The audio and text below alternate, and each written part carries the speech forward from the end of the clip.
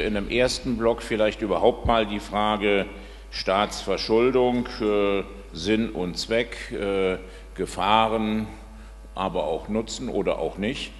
Und äh, ich würde mal mit dem Kollegen Chapitz anfangen. Äh, ich kann das ja machen. Schleichwerbung für seine zwei Bücher. Beide heißen erstmal Schulden ohne Sühne, Fragezeichen. Der zweite Band ist sozusagen eine Aktualisierung, wo dann auch die Eurokrise noch eingegangen wird. Der erste war 2010 und äh, wenn man das Buch dann bis zu Ende gelesen hat, äh, dann ist das Fragezeichen sozusagen aufgehoben. Der letzte Absatz heißt dann, statt sich den Realitäten der Staatsfinanzen zu stellen und die Umschuldung von Staaten in Europa zu einer gangbaren Politikalternative zu machen, versucht die europäische Politik eine Rettung um jeden Preis. Diese Rettung kann für Staaten und ihre Bürger teurer, äh, teuer und bitter werden. Ähm, es gibt keine Schulden ohne Sühne.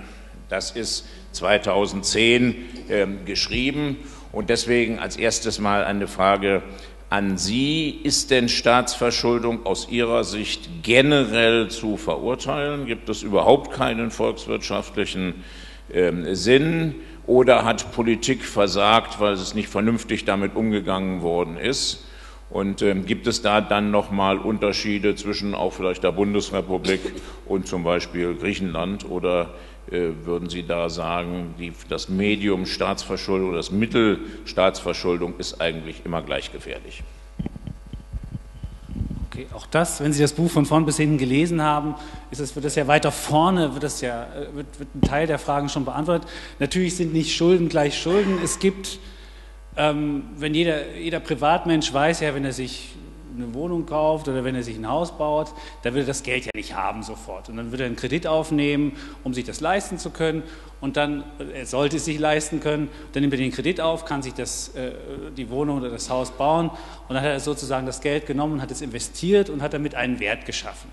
Und hat da auch einen Gegenwert. Und so ist es eben auch bei Staatsschulden. Also man kann wenn man, wenn man äh, Schulden macht, um damit äh, Infrastruktur zu, äh, Infrastruktur zu investieren, in Schulen, in Bildung, dann sind es ja Schulden, die durchaus auch eine gewisse Rendite bringen und die dann auch der kommenden Generation zum Nutzen gereichen. Und warum soll die kommende Generation, wenn sie denn dann die Straße hat oder wenn sie dann die Universität hat oder wenn sie die Bildung hat, warum soll die nicht auch dann für diese Kosten mit herangezogen werden? Und insofern ist es ein Unterschied, ob, wie man die Schulden einsetzt. Aber äh, jetzt muss ich in der, jetzt muss ich in der politischen, äh, jetzt, ich bin ja Politiker, jetzt muss ich ja eigentlich sagen, wir machen natürlich eigentlich nur gute Schulden und die anderen haben immer die bösen Schulden gemacht. Das Problem in der Politik ist eben, dass da eben nicht unterschieden wird zwischen guten und schlechten Schulden, sondern es werden einfach Schulden gemacht. Und äh, wir haben seit 1969, es gab ein einziges Jahr seit 1969, wo wir äh, in Deutschland beispielsweise mal einen, einen Überschuss gemacht haben und sonst wurden immer Schulden gemacht. Und so doll sind unsere Straßen jetzt nicht und man sieht, kann eben daran schon erkennen, dass eben nicht alles für Infrastruktur, für, für, für, für sich rentierende ähm, Sachen investiert worden, sondern dass eben auch viel viele äh, Schulden gemacht worden, weil man äh, unnütze Projekte investiert hat, weil man konsumtionelle Ausgaben investiert hat, die dann äh, einfach verpuffen und weg sind. Das wäre genauso, wenn ich Schulden machen würde, um in den Urlaub zu fahren, dann würde ich ja zwar mal eine schöne Zeit haben, aber es wäre danach eben wäre das Geld eben weg und ich wäre verschuldet. Das wäre so etwa vergleichbar. Jetzt haben Sie mich noch gefragt, ob es einen Unterschied gibt zwischen den Schulden in Deutschland und in, also die Schuldenquote ist schon eine andere in Deutschland. Wir haben in Deutschland ungefähr 80 Prozent ähm, am Bruttoinlandsprodukt. Das heißt, wenn alle Deutsche müssten ungefähr ein Dreivierteljahr arbeiten, nur arbeiten, um eben diesen, diese, diese Schulden abzutragen. Und in Griechenland ist die Quote, trotz dass da ja relativ viele Schulden erlassen wurden, schon wieder bei rund 160 bis 170 Prozent. Also es ist eben ungefähr doppelt so hoch. Also da sieht man schon, schon den Unterschied und das ist dann eben auch nicht mehr ähm, tragfähig. Es gibt ja auch einen, ab einem bestimmten Schuldenstand, das werden wir wahrscheinlich nachher diskutieren, ist ja auch ähm, ist die, ist die, die Staatsverschuldung eben nicht mehr tragfähig, dann äh, werden die Investoren langsam nervös und, und, und, und ähm, sagen, okay, dem gebe ich lieber nichts mehr und dann kommt man eben in so eine Abwärtsspirale rein. Ja, äh, Frau Herrmann, was sagen Sie dazu? Ich meine, das, was er gesagt hat, erstmal, was die Finanzierung von Investitionen angeht, hört sich ja sehr vernünftig an. Das war der alte Paragraph 115 des Grundgesetzes vor der Schuldenbremse, wo eben genau gesagt worden ist, im Umfang von Investitionen darf Staatsverschuldung sein und dann sozusagen, äh, wenn das äh, gesamtwirtschaftliche Gleichgewicht gestört ist. Äh, Gibt es da sozusagen dann doch gar keine Differenz oder würden Sie das Ganze doch ein bisschen anders noch beurteilen? Ähm, also Staatsschulden sind ja ein unglaublich komplexes Thema. Also wenn man sich mal anguckt, wann sind die deutschen Staatsschulden eigentlich entstanden? Entschuldigung, ich bin so ein bisschen krank, da muss, deswegen werde ich immer husten müssen. Ähm, dann kann man ja sehen, dass sie im Wesentlichen in drei Schüben entstanden sind, nämlich 1975 nach der ersten großen äh, Wirtschaftskrise nach dem Zweiten Weltkrieg als man eben dachte, Konjunkturpakete würden helfen. Dann ab 1989, das heißt, die deutsche Einheit ist ganz wesentlich über Schulden finanziert worden und dann 2000, ab 8, äh, 2008 eben äh, durch die Finanzkrise. Allein in der Finanzkrise ist äh, der deutsche Schuldenstand um 400 Milliarden Euro gewachsen. Das ist ein Plus von 30 Prozent. Und ich würde einfach mal behaupten, dass äh, diese Zunahme der Staatsverschuldung absolut unausweichlich war. Das konnte man nicht vermeiden, denn das ist ja passiert durch, äh, dadurch, dass die Steuereinnahmen zusammengebrochen sind und dass man zu Recht den Eindruck hatte, dass man Konjunkturpakete schnüren muss, also zum Beispiel Kurzarbeitergeld, etwas weniger sinnvoll war die Abwrackprämie, aber egal. Die, eigentlich war die Idee richtig, äh, dass man äh, Konjunkturpakete schnüren muss und die Steuerausfälle hinnehmen muss. So, das heißt, ähm, Staatsverschuldung ist ganz wichtig, weil es sozusagen der Puffer ist in Konjunktur- und ähm, Krisen und in Depressionen. Äh, nicht so sinnvoll finde ich es, anders als Herr Czepitz, wenn man Investitionen, reguläre Investitionen über Schulden finanziert, weil es natürlich gibt es noch einen zweiten Grund, warum Staatsschulden entstehen können und dafür ist Deutschland auch ein Beispiel. Äh, man macht nämlich einfach erst eine Steuersenkung für die Reichen äh, und dann hinterher fehlt das, fehlt das Geld und dann muss man leider Schulden aufnehmen. Also in Deutschland ab 1998 haben wir ja spektakuläre Steuerprogramme gesehen. Also beispielsweise Spitzensteuersatz ist gesenkt worden von 53 auf 42 Prozent. Äh, die Abschaffsteuer ist faktisch abgeschafft worden. Vermögensteuer gibt es auch nicht mehr. Und die Kapitalertragssteuer, um nur ein paar von diesen äh, Hausnummern zu nennen, ist für die Reichen, muss man ja letztlich sagen, auf 25 Prozent gesenkt worden. das hat sehr viel Geld gekostet allein nur auch nochmal eine Hausnummer, die Rot-Grün. Sie haben da ja neue Studien gemacht, die habe ich ehrlich gesagt noch nicht gelesen. Die alte, die ich kenne, war, dass die rot-grünen Steuerreformen allein 60 Milliarden Euro im Jahr gekostet haben. Das heißt, es fehlt jedes Jahr, und es ist nicht einmalig, jedes Jahr fehlen wieder 60 Milliarden. Da muss man sich nicht wundern, dass wenn man die Steuern erst denkt, dann die Staatsverschuldung hochgeht. Interessanterweise, genau die Konservativen, die immer gegen die Staatsverschuldung sind, sind aber gleichzeitig immer für die Steuersenkung. Das ist natürlich ein gewisses Paradox. So, was man natürlich klar haben muss, ist, und das äh, trifft also vor allen Dingen dieses Steuerproblem, äh, Staatsschulden bedeuten strukturell eine Umverteilung von unten nach oben. Denn äh, Sie haben ja sicher den Armuts- und Reichtumsbericht alle zur Kenntnis genommen und da stellen Sie ja fest, äh, dass die unteren 50 Prozent haben überhaupt kein Vermögen. Null. Ne? Die sitzen auf einem Prozent Volksvermögen. Äh, und die obersten zehn Milliardäre, die reichsten zehn Milliardäre haben schon mehr Geld als das gesamte untere, die gesamte untere Hälfte so, und die obersten 10 Prozent, genau weiß man es nicht, haben wahrscheinlich schon über 60 Prozent des Volksvermögens. Das heißt, wenn man sich jetzt mal fragt, ja, wo, äh, äh, Schulden bedeuten ja, dass jemand äh, das Geld dem Staat leihen muss. Wo kommt dieses Geld wohl her? Natürlich wahrscheinlich von den obersten 10 Prozent. Und die kassieren natürlich dafür Zinsen, dass sie dem äh, Staat das Geld leihen. Das heißt, aber diese Zinsen werden natürlich von allen bezahlt. Das heißt, äh, über diesen Zinsmechanismus ist es dann so, dass von unten nach oben umverteilt wird. Deswegen bin ich jetzt auch äh, nicht ein unbedingter Fan der Schulden. Aber wie gesagt, ähm, wenn man sie vermeiden will, muss man die Steuern für die Privilegierten erhöhen.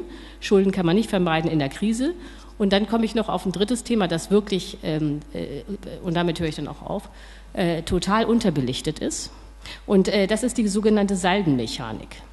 Äh, das ist der technische Ausdruck dafür. Was macht man in einer Volkswirtschaft, wo die Privathaushalte alle sparen in, in der Summe, die Unternehmen alle und die Unternehmen auch alle sparen.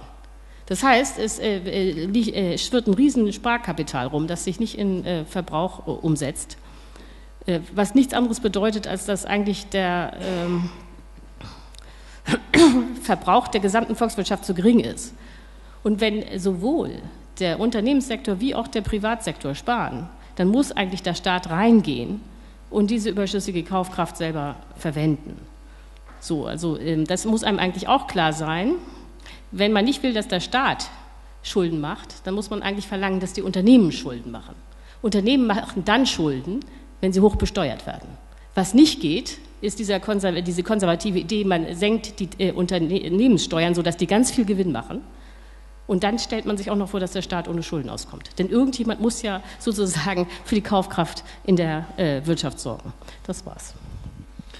Ja, das war umfangreicher, als ich mir das eigentlich gewünscht hätte, weil in der Tat, das war jetzt meine dritte Frage an den Kollegen ähm, genau Hild, weil ich auch gesehen habe, dass viele, wenn so makroökonomische Erklärungen kommen, sagen, die lassen sich irgendwie was Dolles einfallen, dass Schulden nur nötig sind, weil und wie auch immer. Deswegen, wie schon gesagt, einfach nochmal ähm, auch an den, den Thorsten Hild die Frage, Schulden, Sparen, Investitionen, wie sind sozusagen aus einer keynesianischen, volkswirtschaftlichen, gesamtwirtschaftlichen Sicht, wie sind die Zusammenhänge und ähm, warum muss dann möglicherweise eben auch eine bestimmte Staatsverschuldung sein, wenn man Krise verhindern will?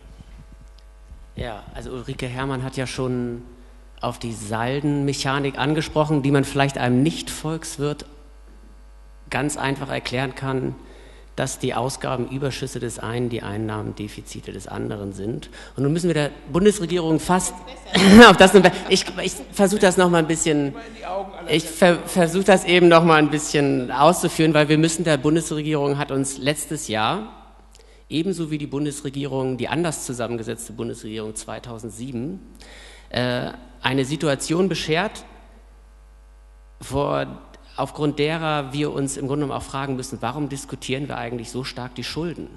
Weil letzt, im letzten Jahr haben alle Sektoren der Volkswirtschaft, das sind eben der Staat, die Unternehmen und die privaten Haushalte, hatten alle Überschüsse erzielt, auch der Staatshaushalt nach den Finanzierungsseiten. Ja? Wir hatten diese Situation unmittelbar vor der Finanzkrise 2007 schon mal. Da hat es die Große Koalition auch schon mal geschafft. Da war der heutige Kanzlerkandidat der SPD noch Finanzminister und sicherlich auch so stolz darauf wie Wolfgang Schäuble im vergangenen Jahr. Das Problem ist, wenn alle diese Sektoren Überschüsse bilden, bleibt nur noch, damit die Rechnung aufgeht, bleibt nur noch ein Kandidat, der uns das alles finanziert. Und das ist das Ausland. Und in der Tat ist es so, dass das Statistische Bundesamt, das diese Finanzierungssalden ausweist, bis aufs Komma genau natürlich äh, das Ausland sich entsprechend verschuldet hat, um unsere Überschüsse zu finanzieren. Ich könnte es auch zugespitzt sagen, damit unsere Wirtschaft überhaupt gelaufen ist, äh, das wäre halt nicht möglich gewesen, wenn das Ausland nicht gewesen wäre, weil wir haben alle gespart, wir haben alle mehr eingenommen als ausgegeben. Äh, in so einer Situation müsste an sich äh, wenn das Ausland jetzt nicht da wäre, müsste die Wirtschaft von einem Moment auf den anderen zum Stillstand kommen. Beziehungsweise könnten die anderen die Überschüsse gar nicht bilden, weil es jetzt zwingend voraus, dass jemand anderes sich dafür verschuldet. Sonst ist die, eine, eine Schuld setzt eben immer auch einen, einen, einen Überschuss voraus und umgekehrt. Ja, das wird ja häufig übersehen. Und daraus ergeben sich natürlich eine ganze Menge ähm, Schlussfolgerungen äh, auch auf die Eurokrise. Ja, warum können wir Überschüsse bilden? Beziehungsweise was setzt es voraus, dass Deutschland sozusagen, wie häufig gesagt wird, die Insel der Seligen ist? Oder Schäuble sagt, jeder kehrt vor seiner eigenen Tür. Ähm, wenn das Ausland vor seiner eigenen Tür gekehrt hätte, hätte Deutschland nicht diese Überschüsse, hätte Deutschland auch keine Leistungsbilanzüberschüsse realisieren können. Ja. Eine Sache dazu ergänzen. Also es ist nicht so, der Bundeshaushalt, hat, wir haben nur ein Plus gemacht in Deutschland ähm, im vergangenen Jahr, weil die Sozialversicherungen das Plus gemacht haben. Herr Schäuble hat noch ein Minus gemacht. Wir wollen es mal nicht übertreiben. Dann haben wir, um mal auf Frau Herrmann zu kommen, haben wir Rekordsteuereinnahmen, obwohl die Steuer, obwohl die Steuerreform ja war. Also wir haben Rekordsteuereinnahmen und haben trotzdem noch, haben trotzdem noch ein, noch ein Ja gut, aber... Ja, wenn Sie das bereinigen, dann ist von Ihrem ja, Rekord Sie nichts haben mehr gesagt übrig. 60 Milliarden, aber so hoch war die Inflation jetzt auch nicht, dass Sie 60 Milliarden... Also wir haben Rekordsteuereinnahmen und machen trotzdem noch ein Minus. Und da fragt man sich schon, äh, ob der Staat nicht mit dem auch mal auskommt, was er, was er, was er bekommt. Und das, die Frage müsste man, auch, äh, müsste, man, müsste man dazu auch noch stellen. Also ich wäre jetzt nicht ganz so äh, freudig, was, was die Schuld. Und ich bin vielleicht auch falsch verstanden worden. Ich habe nicht gesagt, Schulden machen ist gut. Schulden machen ist per se, finde ich, erstmal eine Sache. Man, man versucht Konsum aus der Zukunft in die Gegenwart zu transferieren. Es ist so, als ob ich Öl im Boden habe und das hole ich halt raus und dann ist es weg. Und so ist es auch so ein bisschen bei Schulden, dass man eben die, die zukünftige Ausgaben in die, in die Gegenwart transferiert und dann hat man sie eben nicht mehr. Nur, man muss halt einen Unterschied machen zwischen den Schulden, die eingesetzt werden, wo man auch, wenn man das Öl jetzt nähme und jetzt was, äh, was daraus baut, dass man nochmal eine Rendite bekommt und dem, ähm, was, was einfach nur weg ist. Insofern, das, den Unterschied wollte ich vielleicht schon nochmal sagen. So, jetzt gebe ich zurück. Ich bin ja auf jeden Fall überrascht, dass ein, ein Journalist der Welt sozusagen kein Problem hat, dass man mit Schulden sozusagen Investitionen entsprechend äh, tätigt. macht, ne? also wenn man Schulden macht, dann sollte Dass man das nichts Negatives dafür- ist. Jetzt, ich, ich muss jetzt doch mal äh, so. Äh, also so haben wir uns das natürlich nicht vorgestellt. Wir, wir, ja. Also ähm, wir sind zwar nicht besonders geübt in der Rolle als äh, Moderatoren, Moderatorinnen, weil normal werden wir auch meistens ausgefragt. Und es ist natürlich auch schön, wenn es lebendig wird. Ähm, aber wir wollen jetzt trotzdem mal den Anfängen wehren und äh, gucken, dass sich das nicht ganz verselbstständigt. Ähm, und ich wollte eigentlich auch nicht, ähm, Herr Czepitz, dass Sie jetzt immer in der Rolle sind, äh, wir stellen Fragen, Sie dürfen zuerst und dann dürfen die anderen beide das wieder gerade, gerade rücken. Aber ich würde trotzdem doch noch mal gern nachhaken oder noch mal mit, mit den Rekordsteuereinnahmen, vielleicht kommen wir ja noch mal äh, äh, Richtung Ende, wenn es um die Handlungsfähigkeit des Staates, wir haben uns ja bestimmte äh, Blöcke vorgestellt, haben wir Ihnen äh, ja auch zukommen lassen. Ich würde trotzdem noch mal im Lichte dessen, was ähm, Herr Hild und Frau Herrmann äh, gerade gesagt haben, ähm, darauf zurückkommen, was Sie am Anfang gesagt haben, nämlich, dass es ja schon Unterschiede gibt äh, in der Schuldenquote. Klar, Griechenland hat eine deutlich höhere Schuldenquote als Deutschland. Wir sind im Moment Richtung Musterschüler, alle beneiden uns, ja. Ähm, Klar, äh, der äh, nahezu ausgeglichene Haushalt, der liegt an den Sozialversicherungen, aber es ist ja trotzdem so, dass ähm, wir insgesamt verhältnismäßig gut dastehen und in Griechenland es offensichtlich nicht so gut klappt. Woran liegt es denn? Sparen die denn nicht genug? Also warum, äh, die sind ja nun doch seit äh, Jahren schon fast unter Beobachtung der Troika. Sie halten sich ja auch durchaus an die Memoranden, das zweifelt ja niemand so richtig an. Ähm, aber nichtsdestotrotz steigt die Schuldenquote und steigt. Woran liegt es denn? Das ist relativ einfach, weil die Wirtschaft schneller schrumpft, als die Schulden reduziert werden. Und da das ja immer, da das ja immer, da das ja immer ein Verhältnis ist, Schulden zu äh, Wirtschaft, Wirtschaftsquote, und wenn die Wirtschaft eben schneller schrumpft, dann Jetzt werden Sie natürlich sagen, großartig, das wollte ich ja schon immer haben, das Sparen ist das Böse. Und, äh, aber im Fall von Griechenland, äh, da sind wir schon wieder bei einem, bei einem anderen Thema. Griechenland ist eben in die, in die Eurozone gekommen als Land, was eben diese Bedingungen einer harten Währung eben nicht, nicht also eigentlich, eigentlich für, diesen, für diese Art von, von Währung nicht geschaffen war. Also man hat, das, das Land ist halt reingekommen. Ähm, das macht man an der Wettbewerbsfähigkeit fest, dass sie einfach, äh, wenn, wenn Sie sich vorher angucken, vor, bevor, die, bevor Griechenland in, die, in, die, in, den, Euro gekommen ist, ist die Währung ja relativ regelmäßig abgewertet worden. Das, sind ja bei, das ist ja bei Spanien nicht anders gewesen, das ist ja Italien gewesen, selbst in Frankreich ist es so gewesen.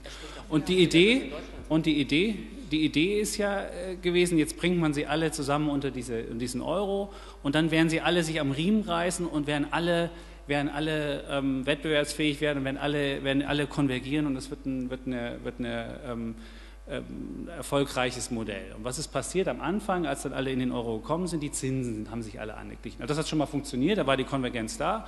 Also äh, Griechenland oder Portugal oder äh, Spanien oder Italien, die wesentlich höhere Staats, also höhere Zinsen zahlen mussten, mussten das nicht mehr, weil jetzt ja dieses äh, Problem der, der Abwertung nicht mehr bestand. Und wenn sie keine Abwertung mehr haben und sie sicher sind, dass es im Euro ist, dann haben sie eben dieses Risiko nicht mehr und das wurde eben ausgepreist, dann mussten die also keine höheren Zinsen mehr zahlen. Und jetzt hätte man ja sagen können, okay, diesen, diesen, diesen riesen Vorteil, diesen Finanzierungsvorteil, den es gab, den nutzen wir auch dafür, um, um äh, die, die, die Schulden abzubauen oder um, um, um Reformen ähm, anzukurbeln und so. Und es ist aber nicht passiert. Was ist stattdessen passiert? In Spanien haben wir mit diesen günstigen Zinsen einen wahnsinnigen Immobilienhype gemacht.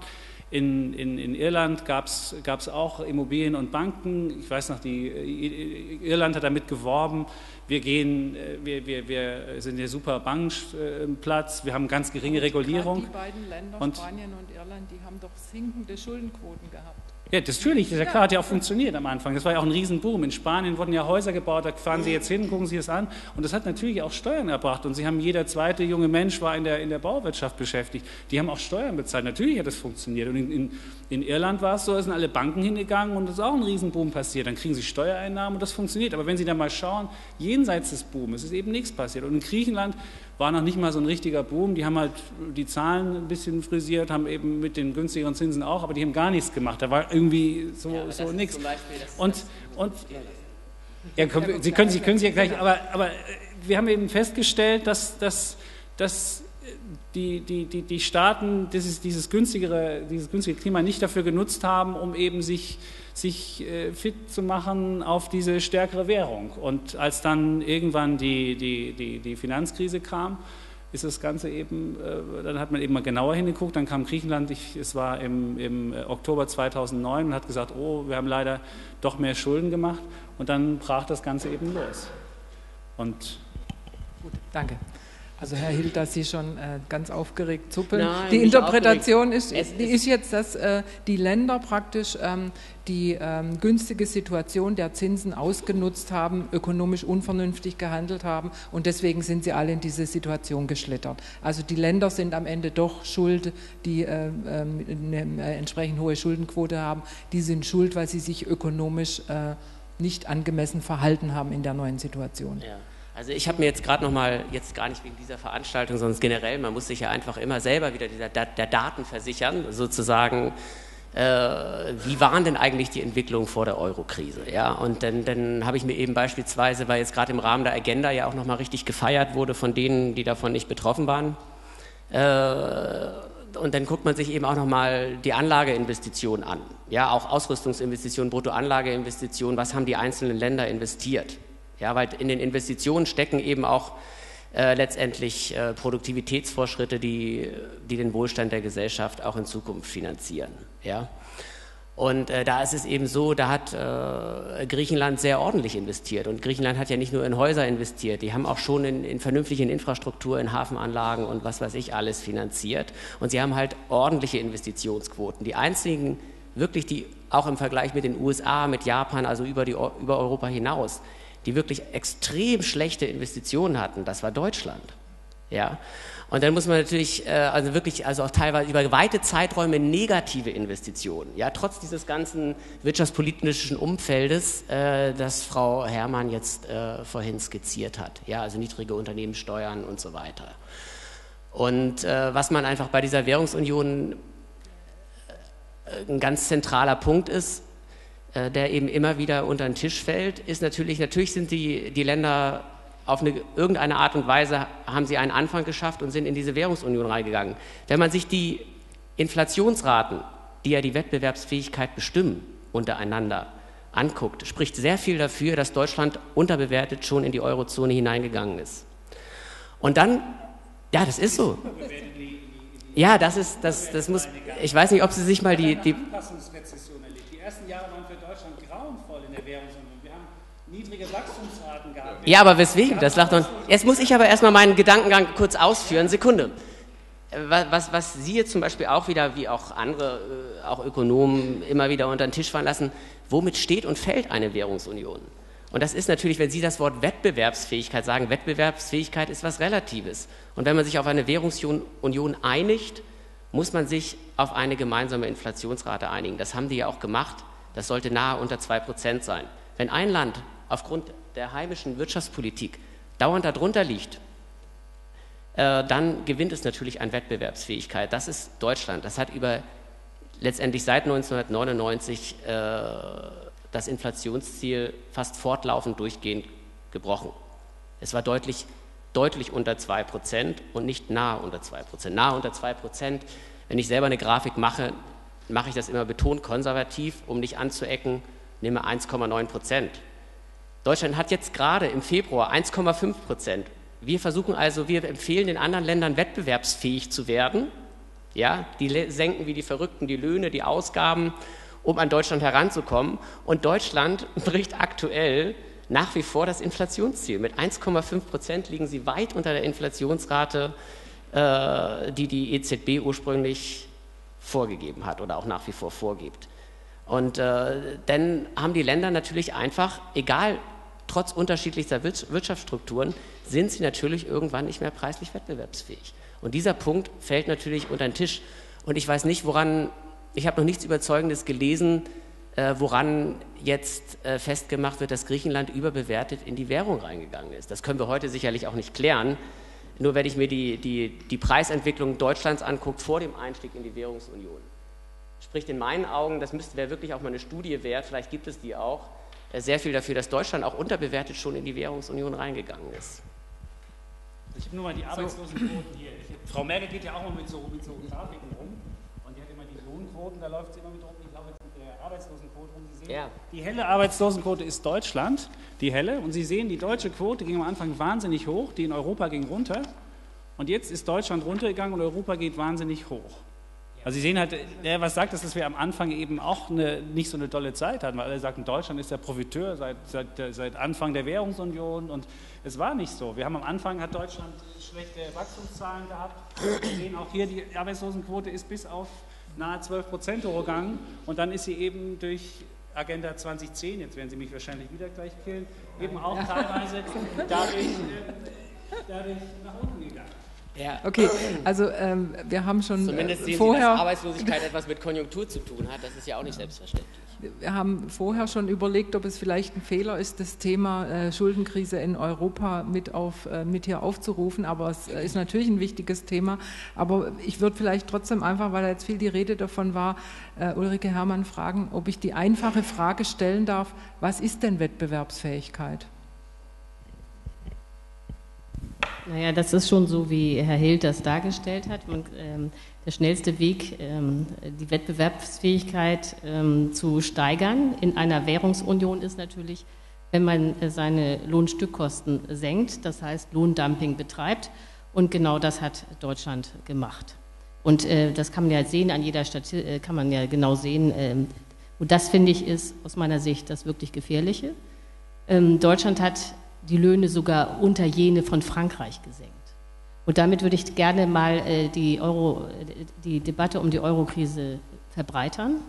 Ich meine, wir konzentrieren uns immer auf Griechenland, Zypern, Irland, Spanien, weil das eben Länder sind, die objektiv komplett oder teilweise überschuldet sind. An diesen Ländern wird aber die Eurozone nicht zerbrechen, sondern entscheidend ist, was passiert in den beiden anderen großen Ländern, Frankreich und Italien, die beide nicht überschuldet sind, aber in Schwierigkeiten geraten sind, dadurch, dass Deutschland auf der Lohnebene sie permanent seit zehn Jahren unterboten hat. Und was passiert ist nämlich, dass Deutschland erst Italien und dann Frankreich aus dem Euro drängen wird. Und äh, dann ist natürlich die Eurozone rein überflüssig. Äh, und äh, bei Italien wird sich das ja demnächst entscheiden, weil die italienischen äh, Wähler völlig zu Recht aus meiner Sicht man muss jetzt nicht über Berlusconi diskutieren, was das für ein, äh, äh, ob der jetzt als Politiker eine äh, große Bereicherung ist. Ähm, aber äh, was sich äh, da ja ausgedrückt hat, äh, ob die jetzt Grillo gewählt haben oder Berlusconi, war ja die Wahrnehmung der Italiener, dass das irgendwie nichts bringt mit diesem Sparkurs, womit sie absolut recht haben. Und ähm, da wird Deutschland aufpassen müssen, dass Italien nicht demnächst verloren geht. Und wenn Italien weg ist und Italien könnte sich einen Ausstieg aus der Eurozone leisten, ohne den totalen Kollaps zu erleben, dann ist die Eurozone tot. Wir werden also deswegen meine Prognose noch erleben, dass Angela Merkel alles tut, um die Italiener im Euro zu halten. Also von Austerität wird man da nicht mehr lange was hören.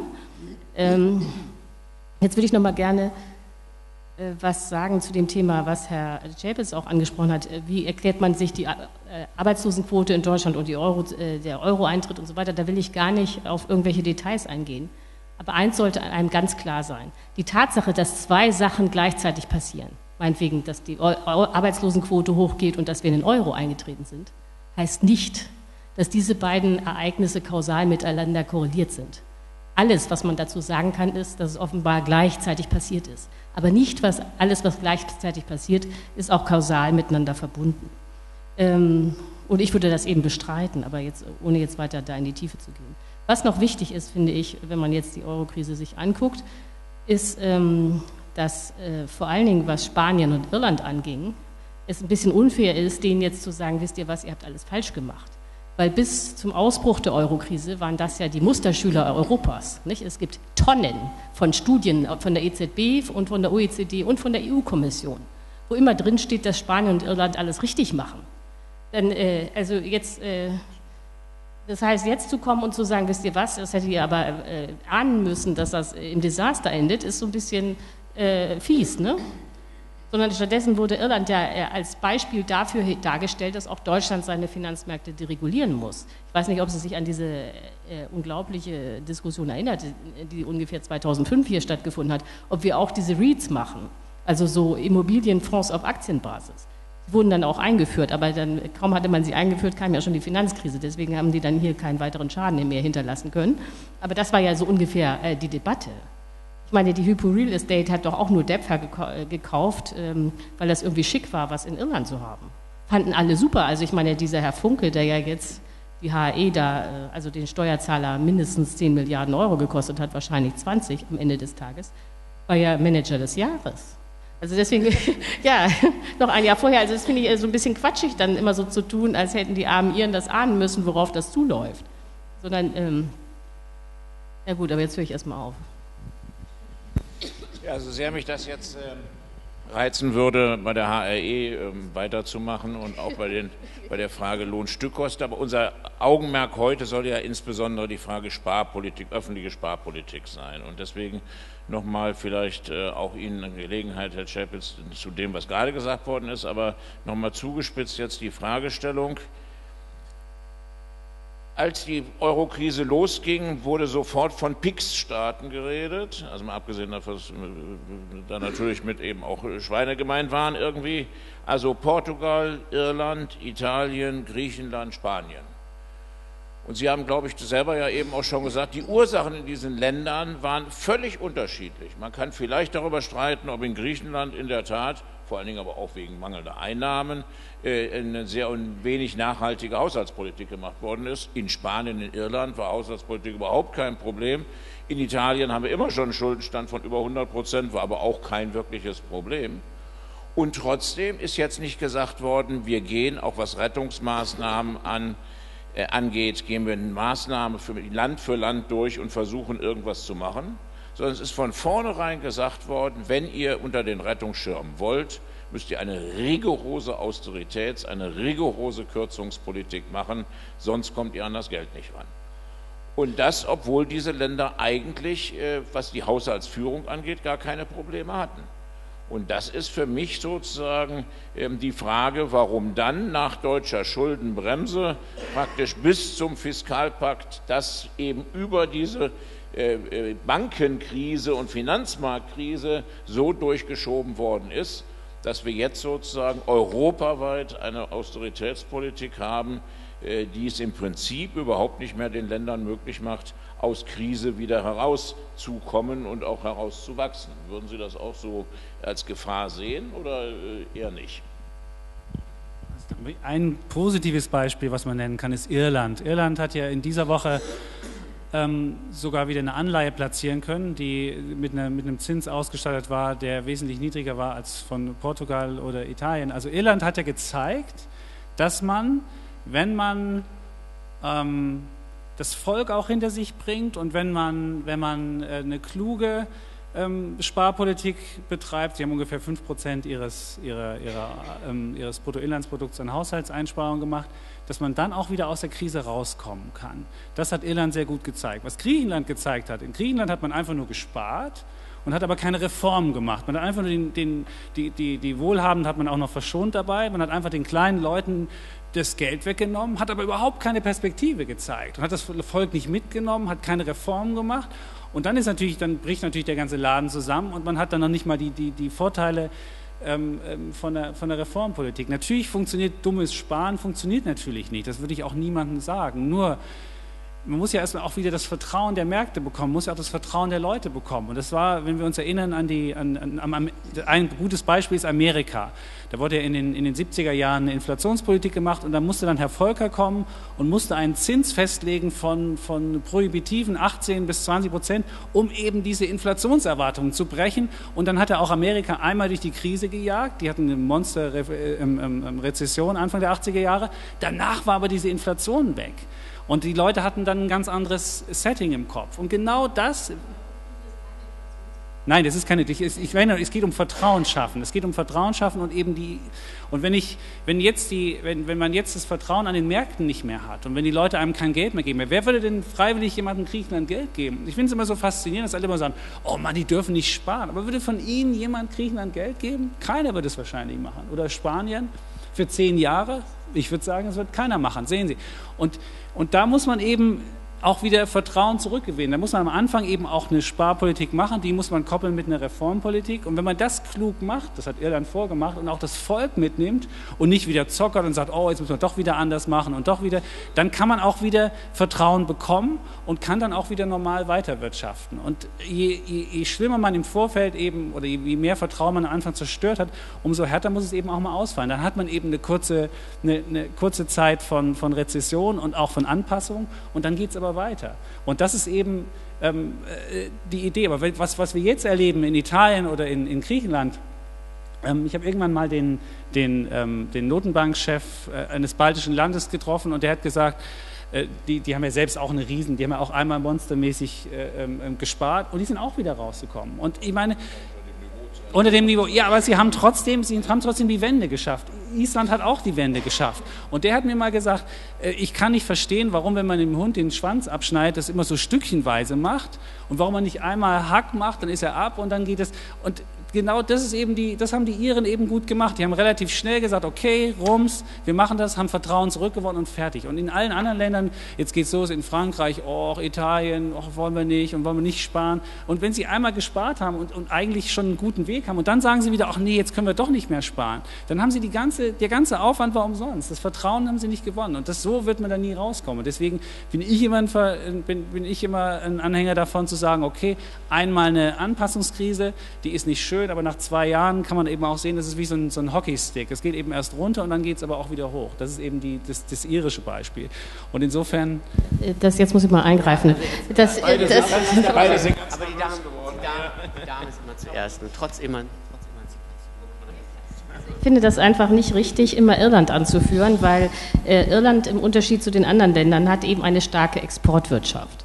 Diese Exportwirtschaft ist nicht vom Himmel gefallen, sondern ist in Irland, weil Irland eine Steueroase ist und auf Unternehmen nur 12,5 Prozent ähm, Körperschaftssteuer verlangt. Das heißt, deswegen sitzt da Google, sitzt da Dell. Das heißt, alle amerikanischen, oder sagen wir mal so, sehr viele amerikanische Firmen sind nach Irland umgezogen, weil es dort einen Steuersatz gibt, den es sonst in der EU nicht gibt. So, diese Exportfirmen produzieren natürlich weiter, auch wenn es eine Eurokrise gibt in Irland, die durch einen Immobilienboom ausgelöst ist. Die Binnenwirtschaft in, äh, in Irland liegt aber am Boden durch die Sparpolitik. Diese Exportindustrie kann man ja schön finden, dass Irland sie hat, aber es sollte einem klar sein, dass es so läuft, dass die gesamte Eurozone äh, sozusagen die Rettung für Irland finanziert mit unseren Steuergeldern und praktisch damit eine Steueroase subventioniert. So, das äh, jetzt äh, hat bisher noch keiner verlangt, wirklich, dass Irland seine Steuerpolitik ändert, weil ja klar ist, dass dann die Krise zurückkommt. Aber äh, zu sagen, dass die Iren sich sozusagen aus der Krise rausgespart hätten, ist Quatsch, sondern sie leben von ihrer Exportindustrie, die, wie gesagt, äh, durch Steuervergünstigungen da überhaupt angelockt wurde. Das kann aber auch keinesfalls sozusagen die Lösung für die gesamte Eurozone sein. Ja, damit ist im Grunde schon fast alles Wesentliche sozusagen entgegnet. Ich weiß nicht, äh, in dem Punkt äh, lohnt es sich auch nochmal auf, auf die Dokumentation von dem Tagesspiegel-Journalisten Harald Schumann hinzuweisen, wahrscheinlich macht kein Film deutlicher, dass äh, Irland, die irische Regierung mit Sicherheit nicht das Volk hinter sich hat, was unter anderem daran liegen dürfte, dass die Binnenwirtschaft eben so am Boden liegt, wie es Frau Herrmann beschrieben hat. Und es ist halt ein Extrem. Irland hat eine Exportquote von über 100 Prozent, was darauf über 100 Prozent des Sozialprodukts, was eben auf, den, auf der Wirtschaftsstruktur äh, basiert, die Frau Herrmann gerade äh, skizziert hat. Das Problem ist, wie soll das denn eigentlich funktionieren, wenn alle Länder, auch die großen Volkswirtschaften, Exportüberschüsse, wer soll das denn abnehmen? Ja, es wird nicht anders gehen, wenn äh, es geht sowieso nicht durch Ausgabenkürzungen. Äh, das ist nochmal ein anderes Thema. Aber wie soll es funktionieren, wenn nicht irgendwo ein Markt ist, der sich entsprechend verschuldet? Ja, weil der Exportüberschuss des einen äh, ist natürlich sozusagen das Außenhandelsdefizit des anderen. Ja, und so, so anders sind ja auch die Exportüberschüsse Deutschlands nicht zu realisieren. Ja, also selbst das, wenn man in dieser Richtung argumentieren würde, würde das implizit voraussetzen, dass Deutschland seine Exportüberschüsse abbaut. Ja, äh, darauf, darauf, tendiert aber Deutschland überhaupt nicht hin, äh, weder realita, man sieht es jetzt an der Inflationsrate von 1,5 Prozent, damit unterbieten wir ja sozusagen äh, nochmal wiederum, wie vorhin beschrieben, der, das Inflationsziel der, der EZB. Und äh, jetzt werden schon wieder die ersten Diskussionen über die Basarökonomie äh, angestoßen, vor lauter Angst, dass jetzt Deutschland doch mal ein Defizitverfahren bei der, bei der EU kriegt. Äh, das äh, ist alles überhaupt nicht in sich äh, schlüssig. Dieses ganze, die ganze, der ganze, wie die Euro-Krise aufgezogen wird von den Verantwortlichen. Und es kann auch keiner schlüssig erklären, wie man durch Ausgabenkürzungen aus der Krise finden soll. Ausgaben, man kommt immer nur aus einer Krise, man kriegt Wirtschaftswachstum. Nur wenn man mehr ausgibt, als man einnimmt. Momentan versuchen alle weniger auszugeben, als sie einnehmen. Und um nochmal einen Aspekt äh, durchaus konservativ zu benennen, wenn man die Maastricht-Kriterien, um nochmal den Zusammenhang nochmal herauszustellen, wenn man die Maastricht-Kriterien, die ja 3% Defizitquote und 60% Schulden am BIP dürfen die Länder haben. Wenn man nur dieses Ziel, von dem alle weit entfernt sind, auch Deutschland, und das ist ganz unabhängig davon, ob man dieses Ziel nun schön oder sinnvoll oder richtig findet, das ist erstmal ganz egal. Es kommt erstmal auf die Logik an. Es impliziert ein Wirtschaftswachstum von nominal 5 Prozent. Ja, dieses Wirtschaftswachstum erreicht momentan aber keiner. Ja, und wir werden niemals von den Schulden runterkommen ohne Wirtschaftswachstum. Da kann es natürlich, kann man sagen, ja, Wirtschaftswachstum kann man kritisch sehen, aber das wäre eine andere Diskussion. Wirtschaftswachstum äh, kann auch ökologisch ausgerichtet sein, aber ohne Wachstum geht es nicht. Wachstum wiederum bekomme ich nicht, ohne dass ich mehr ausgebe, als ich einnehme. Und äh, vor dem Hintergrund, um jetzt hier nochmal äh, nicht vorzugreifen, aber ich habe gerade so gehört, dass das Thema eh umschwenken soll. Äh, aber hier taucht noch, wir haben ja vorher so ein bisschen so paar, paar Themen-Inputs gekriegt und dann taucht da der DGB Wachstums oder Marshallplan auf. Ja? Ich sage es jetzt mal zugespitzt, das ist vor dem Hintergrund, was derzeitig stattfindet, wirklich Tinnef. Ja? Wenn ich jetzt äh, massiv, das, im Grunde genommen kann eine Lösung nur darin liegen, dass ich äh, sozusagen per Saldo nicht mehr kürze. Dieser DGB Marshallplan ja, ist, äh, ist in dem Sinne ein, dann ein Tropfen auf den heißen Stein, wenn gleichzeitig mehr ähm, ich bleibe nochmal in den Kategorien von Einnahmen und Ausgaben, viel mehr eingenommen wird als ausgegeben. Wenn denn dadurch ein Stück weniger mehr, mehr eingenommen wird als ausgegeben, kommt man damit noch lange nicht aus der Krise. So ein Marshallplan macht Sinn, wenn ich das Konzept ändere, wenn ich merke, ich muss aus der Krise herauswachsen. Ein Sachverständiger hat vor zwei Jahren bei der Pre Bundespressekonferenz äh, des Sachverständigenrats oder der irgendwelcher Wirtschaftsinstitute äh, gesagt, es ist nun mal so, Griechenland muss sich aus der Krise herausschrumpfen. Das ist jetzt wortwörtlich zitiert von einem hochdotierten Wirtschaftswissenschaftler äh, des äh, Instituts in Halle. Ja, Griechenland muss sich aus der Krise herausschrumpfen. Das sagt ein, ein, ein ausgebildeter Ökonom in Deutschland.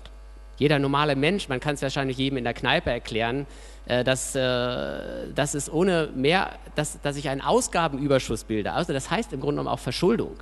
Ja, ich komme nicht durch Abbau von Schulden aus der Krise, sondern im Grunde muss, ich mehr, muss jemand mehr ausgeben, als er einnimmt.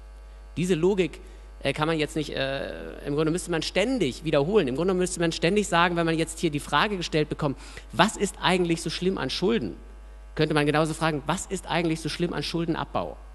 Ja, Im Grunde müssten die Politiker, ich bin jetzt hier in der Rolle eines Politikers, wenn ich morgens immer die Interviews im Deutschlandfunk höre, zum Beispiel fragte Jetzt gerade letzte Woche vor wenigen Tagen Friedbert Meurer, ein sicherlich kluger Moderator, fragte ähm, Otto Fricke, den Haushälter der, der FDP, ähm, sind, ist das deutsche Haushaltsziel sozusagen ambitioniert genug? Auch wieder wörtlich zitiert. Ja?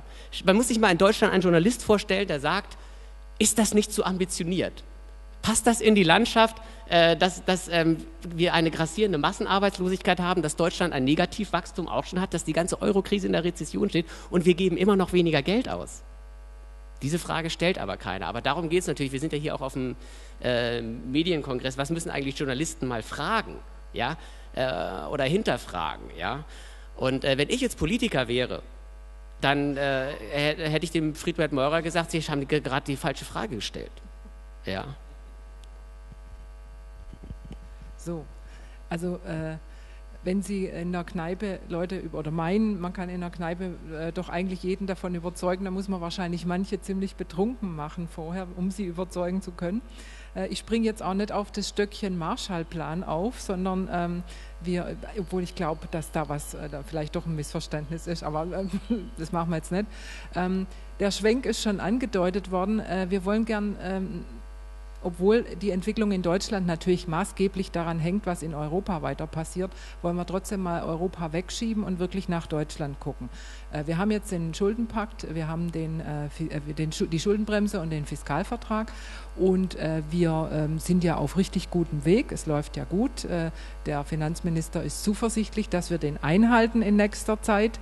Ähm, es gibt ein paar Berechnungen, ähm, die sagen, das läuft vielleicht doch nicht ganz so gut und es gibt ja auch so ein bisschen Widerstand von den Bundesländern. Ja? Also diese innerstaatliche Umsetzung des Gesetzes zur Umsetzung des Fiskalvertrags, das hängt ja. Da wehren sich ähm, ja einige Landesminister und Ministerinnen dagegen. Äh, Frau Herrmann, wenn Sie äh, Hannelore Kraft wären oder Frau Kramp-Karrenbauer oder Frau Lieberknecht, was würden Sie denn machen an Ihrer Stelle?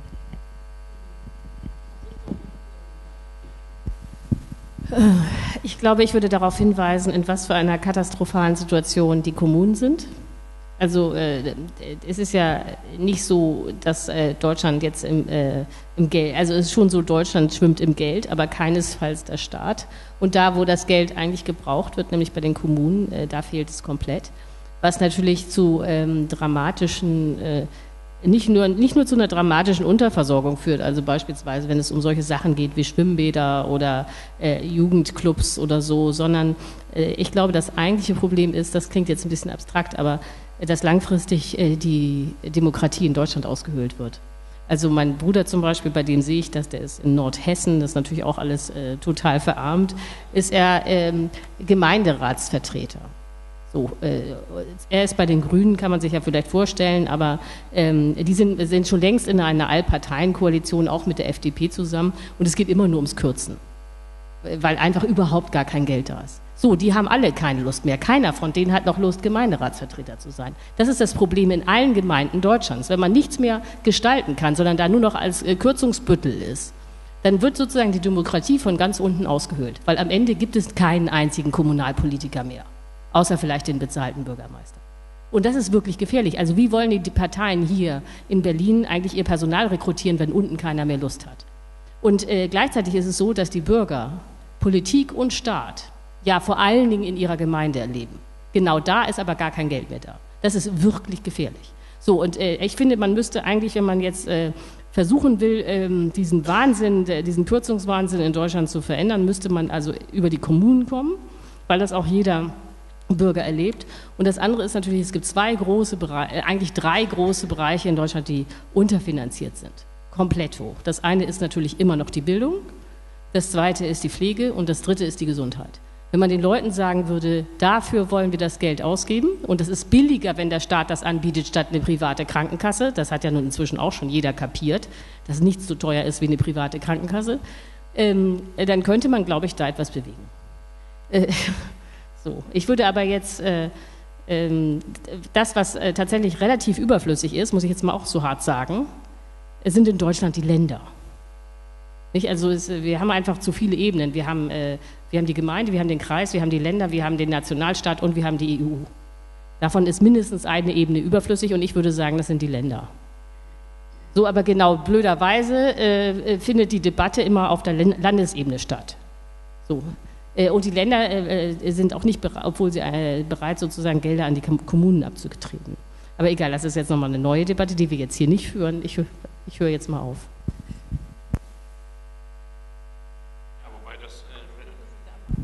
das insofern ein Problem ist, weil verfassungsrechtlich gibt es sozusagen die Gemeinden nicht und die Gemeinden sind Bestandteil der Länder.